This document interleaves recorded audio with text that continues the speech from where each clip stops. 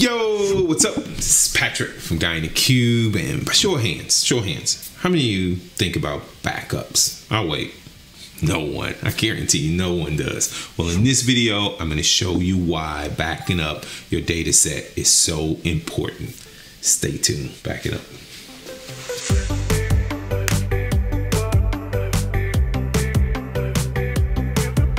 Finding this for the very first time, be sure to hit that subscribe button to stay up to date from all the videos from both Adam and this guy. So you're probably thinking, Patrick, why are you talking about backups? Power BI is a SaaS service. I don't need to back up anything. Microsoft handles all the HA and DR. There's so much resiliency built in the Power BI. I don't have to worry about it. Well, Microsoft handles everything that's there. But what if somebody deletes the data set? What if someone modifies some DAX in the model? What if they delete a measure with lots of complicated DAX? And it's not intentional, it's just a mistake. Or maybe, maybe they are being malicious. What do you do? How do you get this back? Maybe you're not doing version control.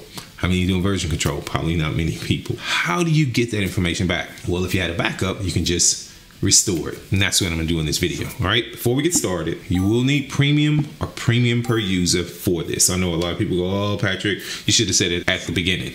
I'm saying it now. So you guys know I like to do. Instead of all this talking, let's do what? Let's head over to my laptop. To get started with this, the first thing you need to do is make sure you enable large models. You can enable a large model at the workspace level. So if you go to workspace, choose premium, you'll see where it says default storage format. You can turn it on for all of the models, or you can do it at the dataset level. If you go to the settings, you'll see down here, it says large dataset storage. And so I've turned it on for this particular dataset. So now you have premium, you got premium per user, one of those, and you haven't enabled large models. And let's say this happens. So someone in your organization, they're using Power BI, they're using one of the great reports that you built. And so they go and open the report and they see this and they call you over and they say, Hey, Patrick, this report was working yesterday. Why is it not working? And you go click on see details and it says, Hey, something's wrong with one or more fields. And you go, Oh, hang on one second, hang on one second. This. So you head back over, you go look at the data model, click it, let's say create a report, and you go over and you look for freight. It was right there. You search for it. Hmm,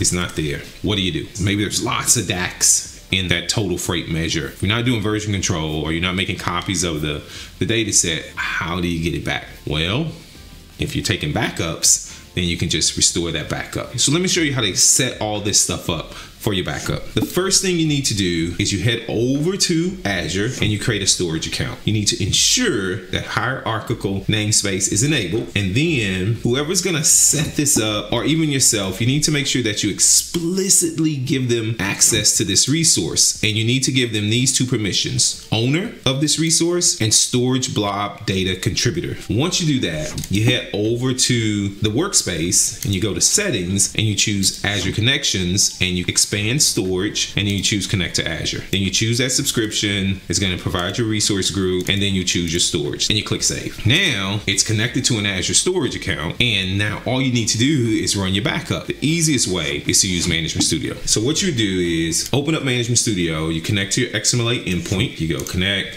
analysis services, pop your endpoint in, choose MFA, put your username in and click connect. I've already done that. Expand your databases out and then find that database. Here's the model. Right click on it and choose backup. And you'll see some options when this window opens. For old school people that's been working with SQL Server forever, this is nothing new to them. I'm not gonna encrypt this backup. You can encrypt it if you want. Not sure if you can encrypt it. I haven't tried that. I'll have to try that out. So I'm gonna allow file overwrite and I'm gonna say apply compression. And what I'm gonna do is I'm gonna say from SSMS so I'll know where it's coming from. And I click OK. This will run for a little bit and then I'm gonna head back over to my storage account. Now, when you do the initial backup, you go over to containers. What Power BI is gonna do is gonna create a Power BI backup container for you. And within that container, any backup that you do, it's gonna create a folder for that workspace. So in my case, I'm going to my videos workspace. So you see right here, and then you can see right there, just a few minutes ago, it's a little late, right? It's 7.30, and there is the data model that I backed up. And now you may be thinking, are you kidding me? I gotta use Management Studio. Can we automate this? Can we use something like Azure Automation and webhooks and schedule this or Data Factory or something like that? And of course you can.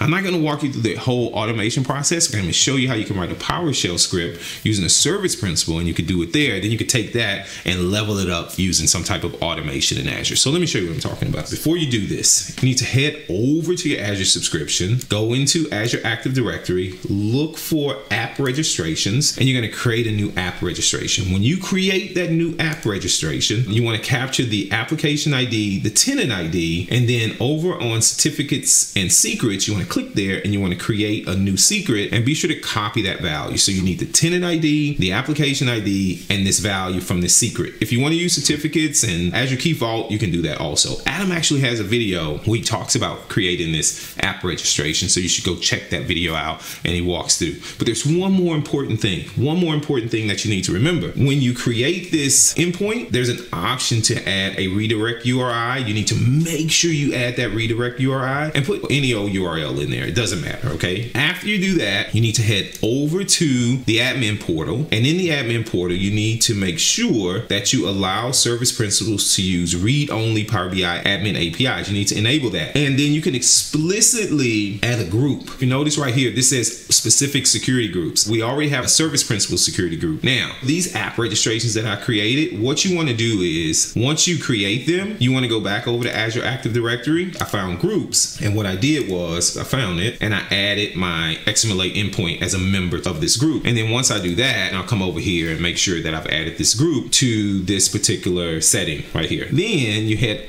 over to your workspace and in your workspace, you want to grant either the group or the endpoint at a minimum contributor access to this workspace. You can see I made them all admins. Once you do all that, you can use this PowerShell script and I'll share this PowerShell script in the comments below. You can see right here, you need to provide the base for the XMLA endpoint, then the workspace, then the database you want to back up, and then the app ID, the app secret, and the tenant ID. So you provide all those things, and then I handle the rest down here. You can see this is a simple backup script, and then I use the invoke AS command to connect to that endpoint, run that query, pass in all the information, and telling, hey, I'm using the service principal. And so I have a script here that's that everything's populated on. It's kind of hidden. I'm gonna go ahead and run this. It's running my backup for me. So you can see it's finished. If I head back over to my container and just choose refresh, you'll see there's one for today. Now, how do I restore? Same thing. Head back over to my notebook over here in Azure Data Studio. I provide the base, the workspace, the database, and then the backup file name. And then I provide the app ID, the app secret, the tenant ID. Very similar things, but then I have a restore script. And so right here, I have one with all the stuff populated. I don't want you to see all the things I'm using because I'm not going to delete that one. Go ahead and run this. It's actually performing that restore for me of that database in my workspace. So now if I go back to my report, let's go look for the report. Let's run it and let's see what happens. Boom, it's fixed. Total freight, total quantity, period over period, percent change. It all works just because I restored it, just because I decided to start backing up my database. All right, what do you guys think? Are you backing up your database? Are you interested in backing up your database? Does this help? Does this help a little bit? I'd love to know. Let's continue the conversation. Where? In the comments below. If it's your first time visiting the Guy in the Cube channel, hit that subscribe button. If you like my video, give me a big thumbs up. As always, from Adam myself, thanks for watching. See you in the next video.